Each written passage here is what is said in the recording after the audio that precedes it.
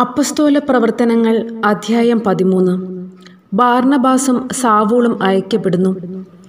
അന്ത്യോക്കിയയിലെ സഭയിൽ പ്രവാചകന്മാരും പ്രബോധകന്മാരും ഉണ്ടായിരുന്നു. ബാർണബാസ് നീഗർ എന്നു വിളിക്കപ്പെടുന്ന ഷിമയോൻ കിറേനക്കാരൻ ലൂസിയോസ് സാമന്ത രാജാവായ ഹേറോദേസിനോടു കൂടെ വളർന്ന മനായൻ സാവൂൾ എന്നിവർ. അവർ കർത്താവിന് ശുശ്രൂഷ ചെയ്തും ഉപവസിച്ചും കഴിയവേ പരിശുദ്ധാത്മാവ് അവരോട് പറഞ്ഞു ബാർണബാസിനെയും സാവൂളിനെയും ഞാൻ വിളിച്ചിരിക്കുന്ന ജോലിക്കായി എനിക്ക് വേണ്ടി മാറ്റി നിർത്തുക. ഉപവാസത്തിനും പ്രാർത്ഥനയ്ക്കും ശേഷം അവർ അവരുടെ മേൽ കൈവപ്പ് നടത്തി പറഞ്ഞയച്ചു. പാഫോസിലെ മാന്ത്രികൻ പരിശുദ്ധാത്മാവിനാൽ അയക്കപ്പെട്ട അവർ സെലൂക്കിയയിലേക്ക് പോവുകയും അവിടെ നിന്ന് സൈപ്രസിലേക്ക് കപ്പൽ കയറുകയും ചെയ്തു. സലാമീസിലെത്തിയപ്പോൾ അവർ യഹൂദരുടെ സിനഗോഗുകളിൽ ദൈവവചനം പ്രസംഗിച്ചു. അവരെ സഹായിക്കാൻ യോഹന്നാനുമുണ്ടായിരുന്നു അവർ ദ്വീപ് മുഴുവൻ ചുറ്റി സഞ്ചരിച്ച് പാഫോസിലെത്തിയപ്പോൾ ഒരു മന്ത്രവാദിയെ കണ്ടുമുട്ടി. അവൻ ബർ യേശു എന്നു പേരുള്ള യഹൂദനായ ഒരു വ്യാജ പ്രവാചകനായിരുന്നു ഉപസ്ഥാനപതിയും ബുദ്ധിമാനുമായ സെർജിയൂസ് പാവൂളിന്റെ ഒരു സദസ്യനായിരുന്നു അവൻ. ഈ ഉപസ്ഥാനപതി ദൈവവചനം ശ്രവിക്കാൻ താൽപ്പര്യപ്പെട്ട് ബാർണബാസിനെയും സാവൂളിനെയും വിളിപ്പിച്ചു. എന്നാൽ മാന്ത്രികനായ എലിമാസ് മാന്ത്രികൻ എന്നാണ് ഈ പേരിന്റെ അർത്ഥം. വിശ്വാസത്തിൽ നിന്ന് ഉപസ്ഥാനപതിയെ വ്യതിചലിപ്പിക്കാൻ ശ്രമിച്ചുകൊണ്ട് അവരെ തടഞ്ഞു. പൗലോസ് എന്നുകൂടി പേരുണ്ടായിരുന്ന സാവൂളാകട്ടെ പരിശുദ്ധാത്മാവിനാൽ നിറഞ്ഞ് അവന്റെ നേരെ സൂക്ഷിച്ചു നോക്കി പറഞ്ഞു സാത്താന്റെ സന്താനമേ സകല നീതിക്കും എതിരായവനെ ദുഷ്ടതയും വഞ്ചനയും നിറഞ്ഞവനെ ദൈവത്തിന്റെ നേർവഴികൾ ദുഷിപ്പിക്കുന്നതിൽ നിന്ന് വിരമിക്കുകയില്ലേ? ഇതാ കർത്താവിന്റെ കരം ഇപ്പോൾ നിന്റെ മേൽ പതിക്കും. നീ അന്ധനായിത്തീരും. കുറെ കാലത്തേക്ക് സൂര്യനെ ദർശിക്കാൻ നിനക്ക് സാധിക്കുകയില്ല. ഉടൻ തന്നെ മൂടലും അന്ധകാരവും അവനെ ആവരണം ചെയ്തു. തന്നെ കൈക്ക് പിടിച്ച് നയിക്കാൻ അവൻ ആളുകളെ അന്വേഷിച്ച് ചുറ്റിത്തിരിഞ്ഞു. ഈ സംഭവം കണ്ടപ്പോൾ ഉപസ്ഥാനപതി കർത്താവിന്റെ പ്രബോധനത്തെക്കുറിച്ച് അത്ഭുതപ്പെടുകയും വിശ്വാസം സ്വീകരിക്കുകയും ചെയ്തു. പൗലോസ് അന്ത്യോക്യയിൽ പൗലോസും കൂടെയുള്ളവരും പാഫോസിൽ നിന്ന് കപ്പൽ യാത്ര ചെയ്ത് പാംഫീലിയയിലെ പെർഗായിലെത്തി. യോഹന്നാൻ അവരെ വിട്ട് ജെറുസലേമിലേക്ക് മടങ്ങിപ്പോയി. എന്നാൽ അവർ പെർഗ കടന്ന് പീസീദിയയിലെ അന്ത്യോക്യയിൽ വന്നെത്തി. സാബത്ത് ദിവസം അവർ സിനഗോഗിൽ പ്രവേശിച്ച് അവിടെ ഉപവിഷ്ടരായി. നിയമവും പ്രവചനങ്ങളും വായിച്ചു കഴിഞ്ഞപ്പോൾ സിനഗോഗിലെ അധികാരികൾ ആളയച്ച് അവരോട് ഇപ്രകാരം പറയിച്ചു. സഹോദരന്മാരെ നിങ്ങളിൽ ആർക്കെങ്കിലും ജനങ്ങൾക്ക് ഉപദേശം നൽകാനുണ്ടെങ്കിൽ പറയാം അപ്പോൾ പൗലോസ് എഴുന്നേറ്റ് നിന്ന് കൈകൊണ്ട് ആംഗ്യം കാണിച്ചിട്ട് പറഞ്ഞു ഇസ്രായേൽ ജനമേ ദൈവത്തെ ഭയപ്പെടുന്നവരെ ശ്രദ്ധിക്കുവിൻ. ഈ ഇസ്രായേൽ ജനതയുടെ ദൈവം നമ്മുടെ പിതാക്കന്മാരെ തെരഞ്ഞെടുത്തു. ഈജിപ്തിൽ വസിച്ചിരുന്ന കാലത്ത് അവരെ അവിടുന്ന് ഒരു വലിയ ജനമാക്കി. തന്റെ ശക്തമായ ഭുജം കൊണ്ട് അവിടെ നിന്ന് അവരെ കൊണ്ടുപോരുകയും ചെയ്തു. അവിടുന്ന് നാൽപ്പത് വർഷത്തോളം മരുഭൂമിയിൽ അവരോട് ക്ഷമാപൂർവം പെരുമാറി. കാനാൻ ദേശത്തു വെച്ച് ഏഴു ജാതികളെ നശിപ്പിച്ചതിന് ശേഷം അവരുടെ ഭൂമി നാനൂറ്റി അൻപത് വർഷത്തോളം ഇസ്രായേൽക്കാർക്ക് അവകാശമായി കൊടുത്തു. അതിനുശേഷം അവിടുന്ന് പ്രവാചകനായ സാമുവേലിന്റെ കാലം വരെ അവർക്ക് ന്യായാധിപന്മാരെ നൽകി. പിന്നീട് അവർ ഒരു രാജാവിന് വേണ്ടി അപേക്ഷിച്ചു. ബെഞ്ചമിൻ ഗോത്രത്തിൽപ്പെട്ട കിഷിന്റെ പുത്രൻ സാവൂളിനെ നാൽപ്പത് വർഷത്തേക്ക് ദൈവം അവർക്ക് നൽകി. അനന്തരം അവനെ നീക്കം ചെയ്തിട്ട് ദാവീദിനെ അവരുടെ രാജാവായി അവിടുന്ന് ഉയർത്തി. അവനെക്കുറിച്ച് അവിടുന്ന് ഇപ്രകാരം സാക്ഷ്യപ്പെടുത്തിയിരിക്കുന്നു. ജസ്സയുടെ പുത്രനായ ദാവീദിൽ എന്റെ ഹൃദയത്തിനിണങ്ങിയ ഒരു മനുഷ്യനെ ഞാൻ കണ്ടെത്തിയിരിക്കുന്നു. അവൻ എന്റെ ഹിതം നിറവേറ്റും. വാഗ്ദാനം ചെയ്തിരുന്നതുപോലെ ഇവന്റെ വംശത്തിൽ നിന്ന് ഇസ്രായേലിന് രക്ഷകനായി യേശുവിനെ ദൈവം ഉയർത്തിയിരിക്കുന്നു.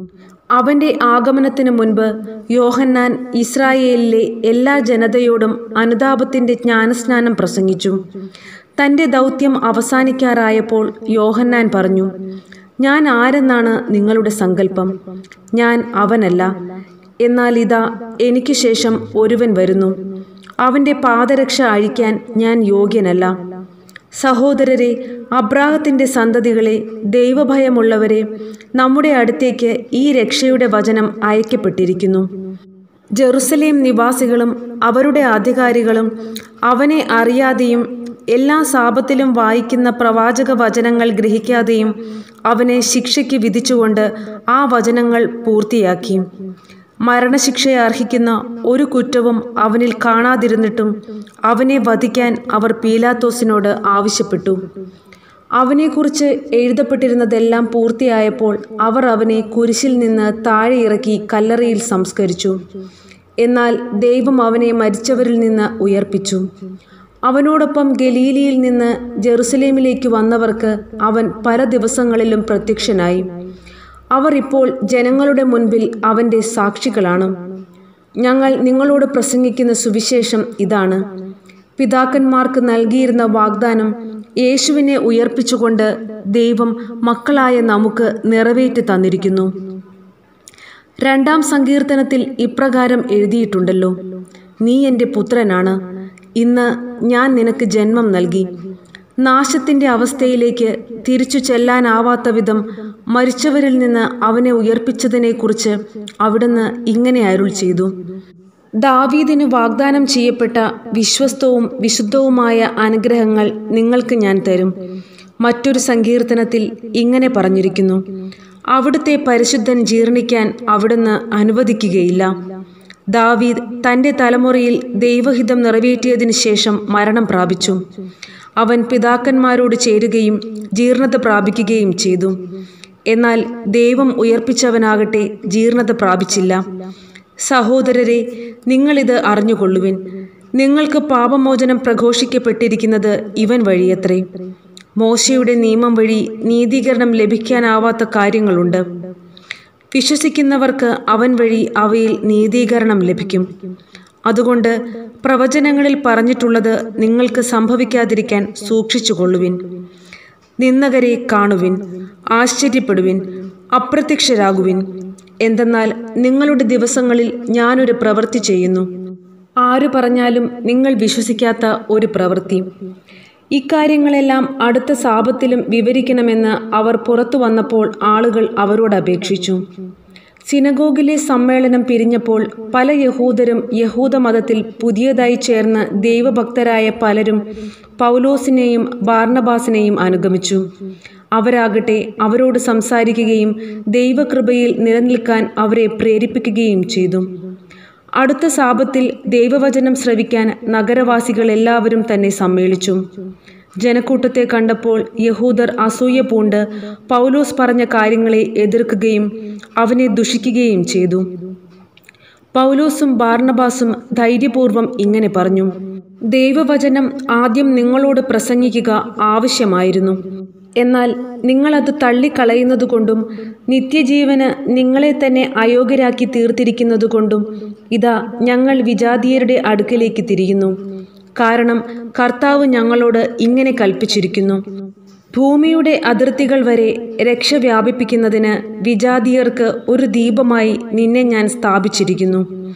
ഈ വാക്കുകൾ കേട്ടപ്പോൾ വിജാതീയർ സന്തോഷഭരിതരായി കർത്താവിന്റെ വചനത്തെ പ്രകീർത്തിച്ചു. നിത്യജീവന് നിയോഗം ലഭിച്ചവരെല്ലാം വിശ്വസിക്കുകയും ചെയ്തു. കർത്താവിന്റെ വചനം ആ നാട്ടിലെല്ലാം വ്യാപിച്ചു.